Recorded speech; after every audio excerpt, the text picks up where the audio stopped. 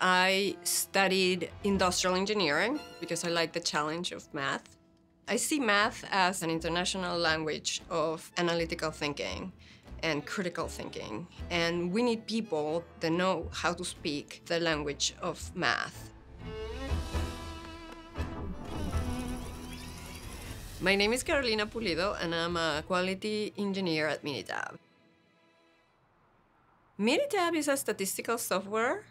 As a quality engineer, I test the software and make sure that I identify any issues as fast as possible so that our users do not find any issues with our software. We want to make sure the results are correct and also that the experience and the flow of the work that a user would do inside Minitab is a good one. Minitab is distributed in eight languages. And from those eight, I can test in English, Spanish, French, German, and Portuguese.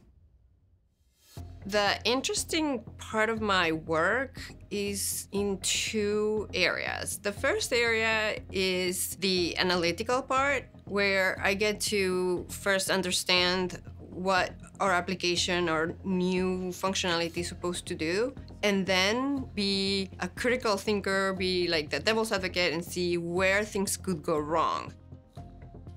Having a hacker mentality is helpful when you are a software tester, which is basically figure out how to break the algorithm so that you can identify its flaws, its weaknesses, and we want to do that as soon as possible.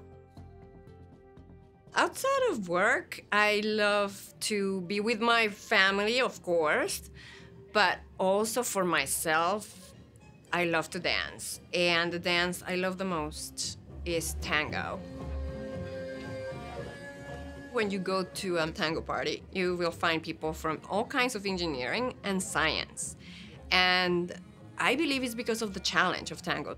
You cannot wing tango. You have to really train yourself, practice, and get really in the zone.